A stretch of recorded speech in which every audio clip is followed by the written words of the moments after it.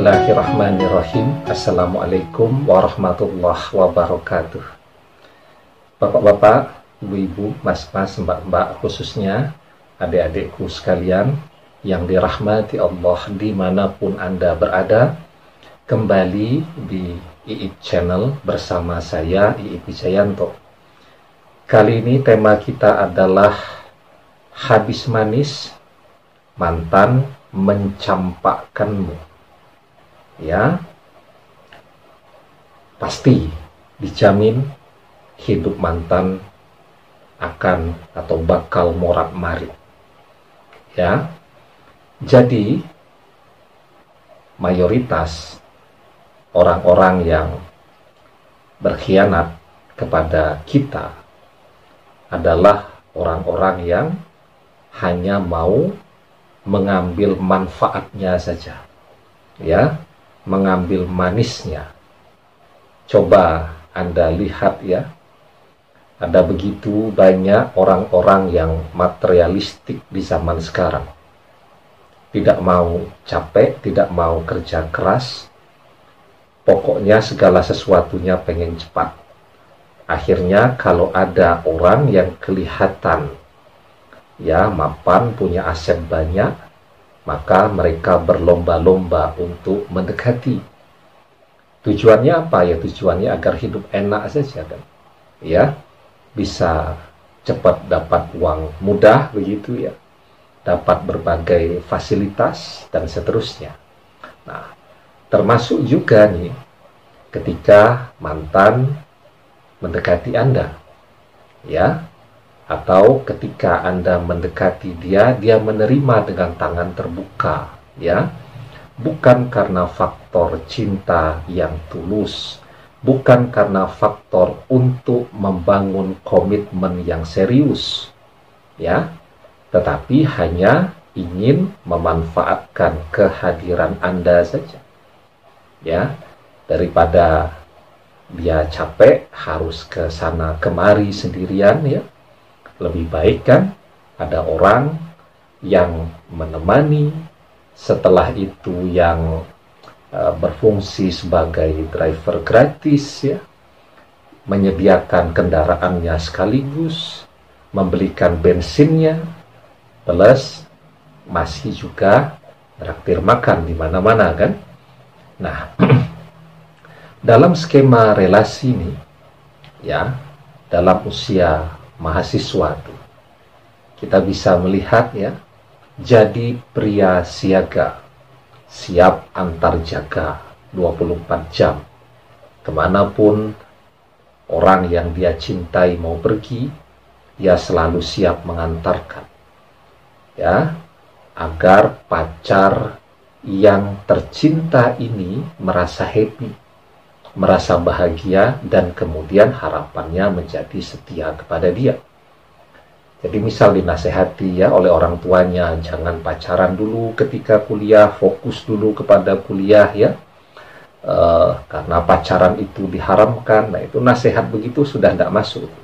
Ya, diberikan fasilitas oleh orang tua tuh, misal ini sepeda motor, amanahnya kan untuk kuliah, ya dipakai kuliahnya ala kadarnya. Memang pergi ke kampus juga tetapi bukan untuk kuliah. Untuk ngantar jemput pacar yang tercinta tadi. Ya. Jadi pacarnya masuk ke ruang kuliah dia nunggu di kantin. Pacarnya lulus kuliah ya kuliahnya tetap di kantin tadi. Ya. Nah jadi yang lebih menyedihkan lagi kalau tahu terima kasih kan? Lulus kemudian gantian mensupport ya. Memberikan motivasi dorongan bahkan bantuan lah agar si cowok ini kemudian kuliahnya juga bisa cepat selesai dan memenuhi uh, komitmen mereka bersama untuk setelah itu menikah ya itu padahal selama pacaran dosanya sudah tidak karu-karuan.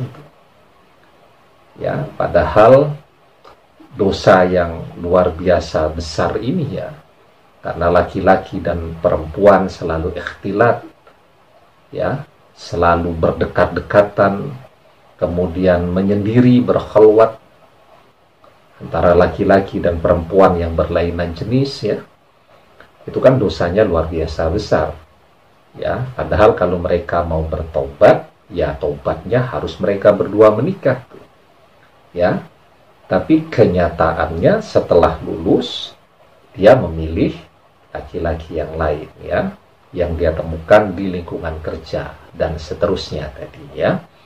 Nah, jadi itu salah satu contoh. Contoh yang lain misal dalam relasi pasangan suami istri. Ya. Suaminya misal memberikan kepercayaan penuh kepada istrinya.